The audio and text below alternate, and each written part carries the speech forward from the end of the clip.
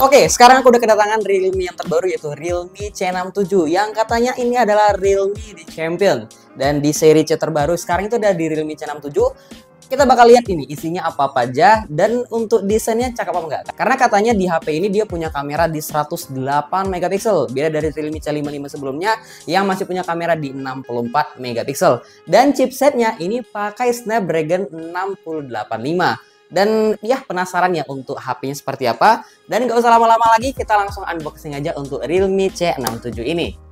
Ya, kita kedatangan lagi nih HP terbaru dari Realme yaitu Realme seri C di C67. Dan HP ini digadang-gadang katanya punya kelas kamera yang bagus banget di harganya. Karena kamera dari HP Realme C67 ini pakai kamera 108 megapiksel.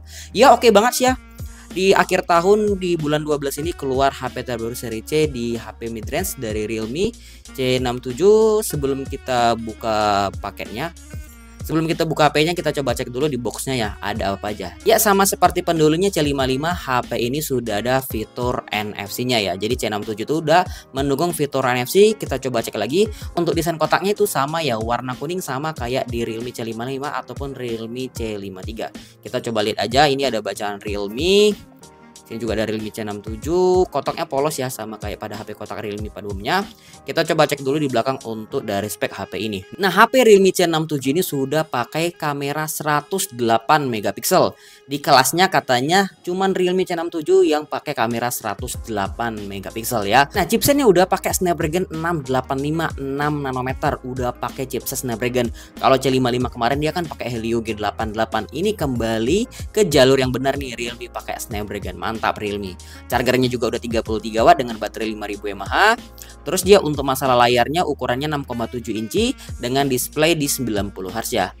Terus dia udah dual speaker guys. Jadi HP Realme C67 ini udah dual speaker Terus dia udah ada mini kapsulnya. Mini kapsulnya itu sama kayak di C55 ya. Tapi hanya saja dia mini kapsulnya itu yang 2.0. Jadi dia mini kapsul yang terbaru.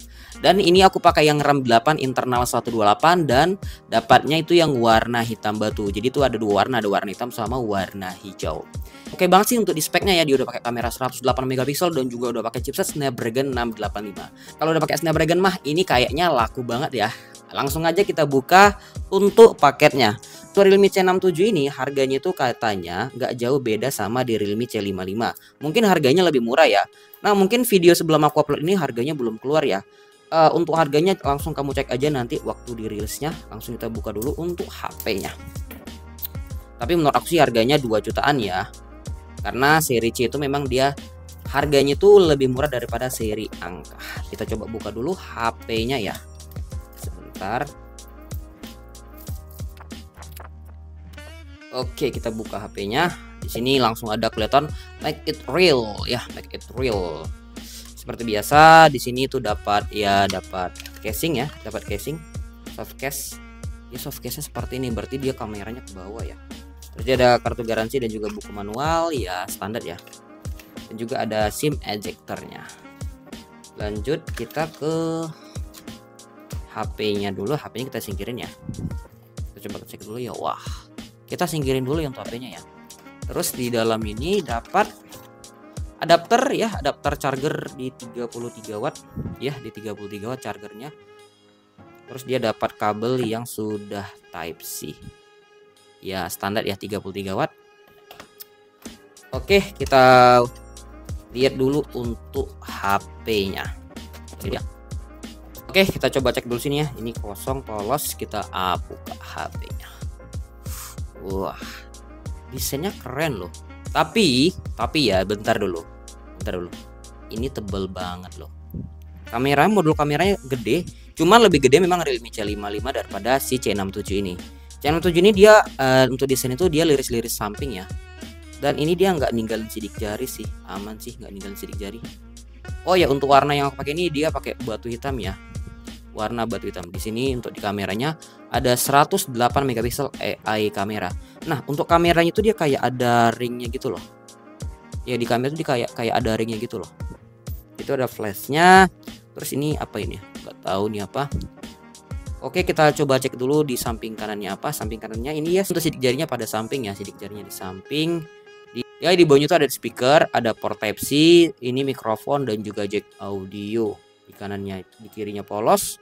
Oke kita coba cek dulu untuk slot SIM cardnya dia pakai slot SIM card apa. Oh iya dia, dia udah pakai slot SIM card yang bisa dua pakai kartu memori dan tambahin kartu memori card. Oke sih jadi kamu bisa pakai dual SIM card dan ditambahin kartu memori card. Oke lanjut. Kita coba cek di atas. Di atas itu ini dia speakernya udah dual ya udah dual speaker dan ini kalau digenggam enak banget. HP-nya lebih kecil daripada C55 ya? C55 itu gede banget cuman kalau untuk di Realme C67 ini feel di tangan itu cakep loh. Langsung kita nyalain aja ya. Oke kita nyalain. Kita tunggu dulu nyalain HP-nya ya dan ini dia tampilan pertama untuk di Realme C67. Oke, kita coba cek dulu ya untuk layarnya ya. Layarnya bezelnya cukup tipis ya. Bezelnya cukup tipis. Kayaknya di HP midrange seperti Realme C67 ini dia yang paling tipis sih karena dia memang tipis banget. Untuk di pinggir-pinggirnya memang tipis banget. Tapi kalau untuk di bawahnya ya standar lah ya, standar dan di atasnya juga lumayan tipis. Untuk di HP ini kita coba cek dulu dia pakai versi Android berapa. Soalnya untuk di UI-nya Kayaknya ya dia udah pakai Android terbaru nih. Kita coba cek dulu. Yes, dia udah pakai versi Android 14, udah pakai versi Android 14. Dan kita coba lihat penyimpan perangkatnya dia ngabisin sistemnya berapa ya. Yang digunakan 21 GB. Jadi untuk eh, aplikasi-aplikasi uh, yang terinstall langsung ini lumayan banyak banget ya. Kita coba cek dulu ya. Jadi untuk aplikasi-aplikasi yang terinstall itu ya seperti biasa ya aplikasi-aplikasi seperti ini itu bisa kalian hapus saja. Untuk HP-nya oke okay banget. Ya di ini RAM 8 internalnya di 128 pertama kali lihat ini memang HP midrange tapi rasanya tuh kayak HP-HP mahal loh. Karena desainnya kamu lihat sendiri loh desain kameranya. Desain kameranya kayak HP apa ya? Aku lupa ya. Cuma desain kamera ini memang cakep banget. Dia ada ring-ringnya gitu loh ada ringnya gitu.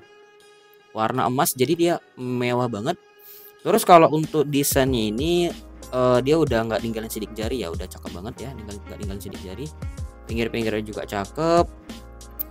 Uh, dan katanya ini kan kamera tuh pakai 108 megapiksel langsung kita coba cek aja kamera 108 megapikselnya dan di oh untuk sensor kamera itu dia udah pakai yang pakai IOCell ya dia udah pakai sensor dari IOCell yang HM6 yang terbaru kita coba cek dulu ya karena dia katanya tuh bisa ngezoom sampai tiga kali ya untuk kameranya uh cakep loh untuk kameranya.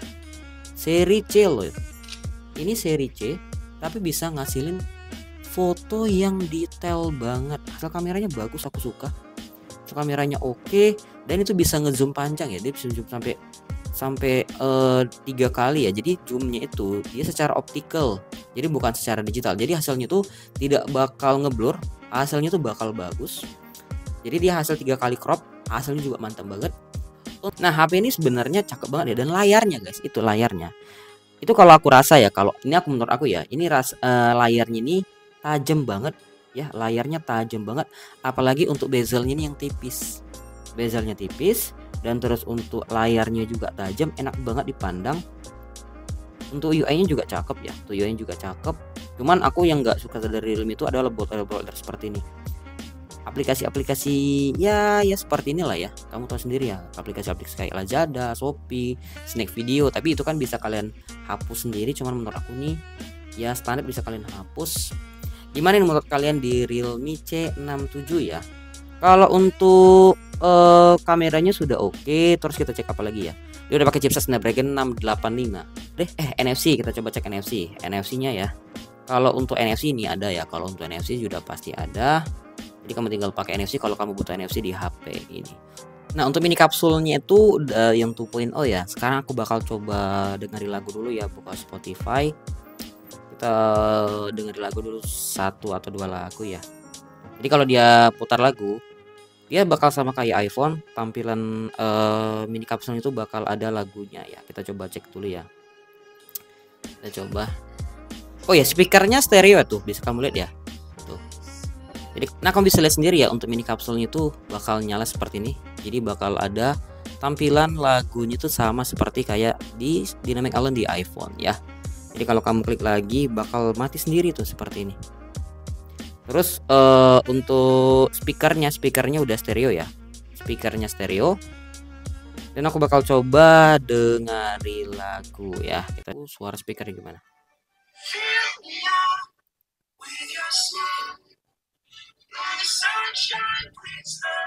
suaranya oke okay sih tapi agak cempreng ya.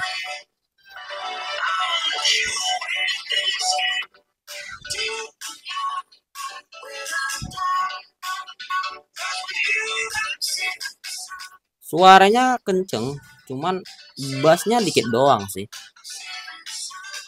Suara seperti ini ya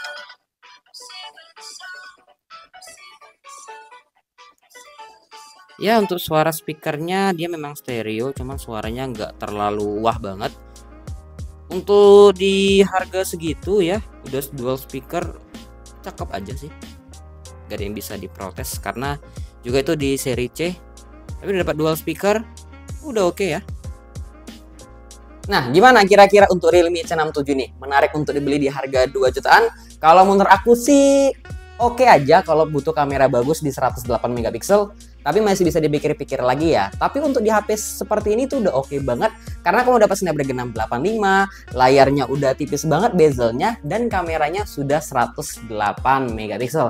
Kira-kira menurut kalian gimana nih untuk Realme C67 nih? Coba tulis di kolom komentar ya.